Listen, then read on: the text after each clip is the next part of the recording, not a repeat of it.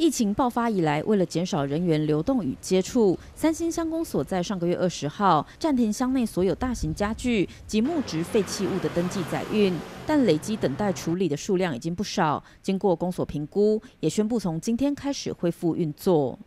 咱这次一定配合防疫吼，因为伫全国性的这动作真济，拢为着配合国家的防疫，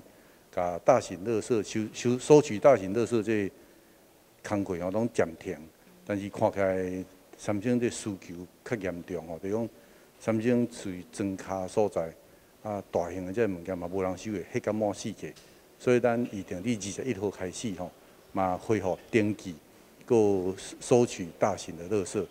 不过，现在仍在疫情期间，若是乡民有需要清运大型家具，再将家具移到户外时，虽然已经是要丢弃，但公所呼吁民众可以自行先消毒清洁，以免有任何病菌或病毒侵蚀收运人员的健康。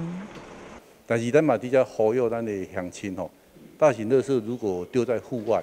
你要收，咱就当用消毒水小个喷者吼。顾到你的安全嘛，顾到咱清洁队队员安全，顾到大家的安全，咱共同继续来做好防疫的工作。啊，希望透过互大家方便，